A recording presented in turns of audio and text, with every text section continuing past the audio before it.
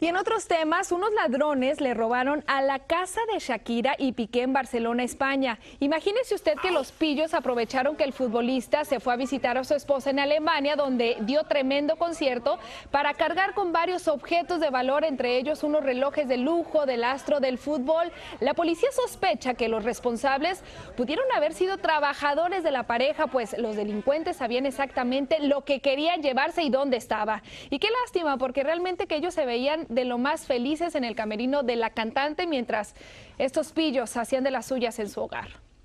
que sorprende a habitantes de un río en el oriente boliviano y que creen es la víbora gigante de tres cabezas que vive en el lugar. Existe tres, esa víbora de tres cabezas